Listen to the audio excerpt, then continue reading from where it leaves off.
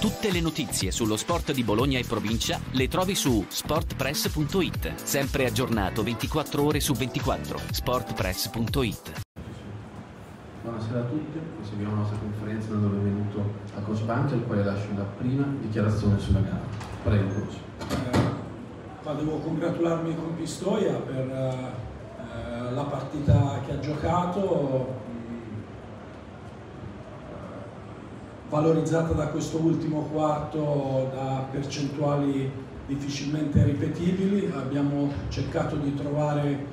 eh, la giusta intensità e aggressività senza mai fermare la precisione dei loro tiratori, eh, questo ha generato anche una, una, brutta reazione psicologica perché chiaramente eh, averli visti recuperare questo scarto così velocemente eh, ha tolto anche lucidità al nostro attacco che fino a quel momento era riuscito a,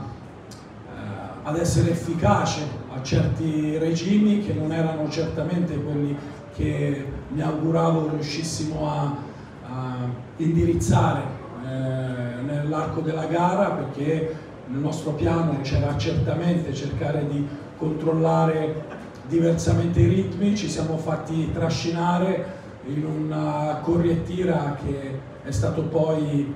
eh, letale. Nel finale, ovvio un, un, secondo tempo da 59 punti subiti e un ultimo periodo da 32 con certe percentuali al tiro e credo complessivamente sia stato un, un 11 su 12 dal campo, testimoniano che non siamo mai riusciti a,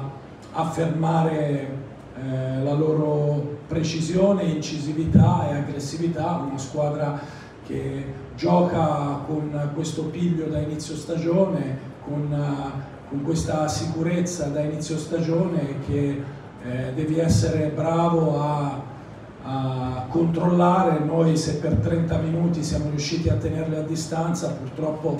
eh, qualche segnale che la nostra difesa non avesse eh, l'intensità adeguata già c'era, poi dopo tutto si è manifestato in modo prorompente, complice anche eh, il fatto che eh, in loro crescesse la fiducia e la consapevolezza che possesso dopo possesso stessero recuperando il gap.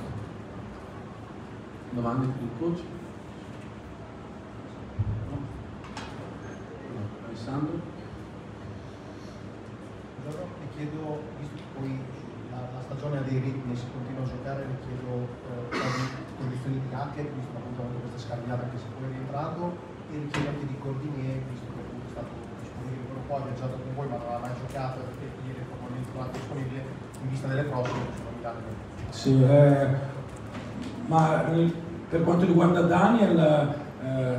c'è stato un problema, è stato lui che dopo essere passato dagli spogliatoi ha chiesto espressamente di poter avere la possibilità di giocare perché voleva testare se e non, non mi è sembrato che fosse particolarmente limitato, vediamo poi eh, cosa,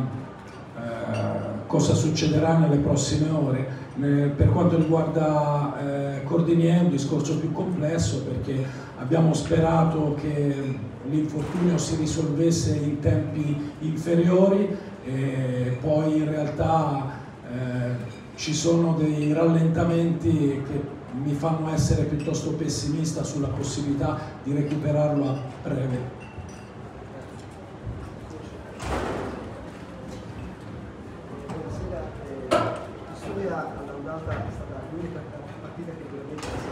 Eh, poter competere con l'avversario, voi avete azzarnato subito la partita e è sembrato non esserci mai partita. Oggi nonostante tutto anche sul 19 eh, forse non so se c'è stato un calo anche psicologico da parte vostra perché non è sembrata la stessa determinazione.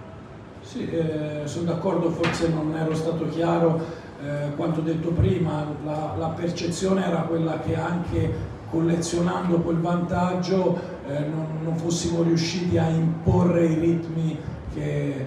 eh, ci eravamo prefissi, insomma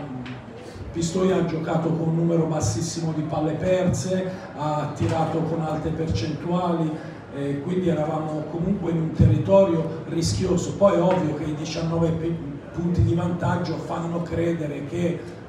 mantenendo certi regimi realizzativi comunque tu possa tenerli a distanza. La realtà è che purtroppo siamo incappati in un quarto periodo di una sterilità assoluta con la tensione palpabile che si respirava in campo, eh, abbiamo perso fiducia, abbiamo cominciato a vedere il canestro veramente piccolo e questo ha dato sicuramente ulteriore spinta e energia ai nostri avversari, però ecco, la sensazione era che quel vantaggio lo avessimo costruito eh, più nella metà campo offensiva che non quella difensiva.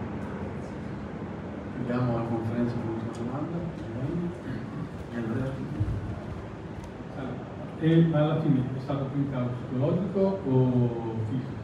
Psicologico? Ah, non lo so, noi abbiamo ruotato eh, 12 giocatori in campo, quindi io penso che per mh, la squadra che siamo e i quintetti che proponiamo, eh, penso che mh, non si debba andare a, a scavare nell'ambito della fatica, della stanchezza, quanto piuttosto del fatto che non siamo riusciti a trovare eh, risposte alla, alla, loro vena realizzativa, tutto si è manifestato un po' clamorosamente nell'ultimo periodo e sicuramente questo ha avuto una valenza anche psicologica perché forse anche inconsciamente pensi che questa sia una partita che possa continuare su quell'inerzia lì e che tu possa ancorarti alle tue percentuali realizzative oppure la facilità con la quale avevamo trovato buona eh, distribuzione anche tra la presenza di gioco interno, eh, precisione dall'arco e poi improvvisamente tutto è diventato difficile, abbiamo iniziato a sbagliare canestri anche piuttosto semplici, il canestro si è chiuso, abbiamo fatto 1 su 11 da 3 punti l'ultimo periodo con eh, Pistoia che ovviamente si è sempre più arroccata dentro l'area sfidandoci a tirare e questo poi è diventato letale insieme alla, alle loro percentuali realizzative che insomma non sono da tutti i giorni perché avere certe performance ovviamente complice il fatto hanno certe caratteristiche ma giocare queste partite ti dà anche quella leggerezza e quella spensieratezza che ti può spingere anche a prestazioni di questo tipo. Io non andrei a, a guardare alla stanchezza che è una condizione con la quale conviviamo voglio dire, venivamo da una partita durissima, casalinga, con 72 ore di tempo, eh, ancora una partita in casa, quindi c'erano tutti i presupposti, onestamente per quanto abbiamo visto nei primi 30 minuti non abbiamo dato la sensazione di essere una squadra stanca, quanto piuttosto purtroppo negli ultimi 10 un po' attanagliata dalla tensione e dalla paura. Ci sono domande, chiamo la conferenza. Grazie. Tutte le notizie sullo sport di Bologna e provincia le trovi su sportpress.it. Sempre aggiornato 24 ore su 24. sportpress.it.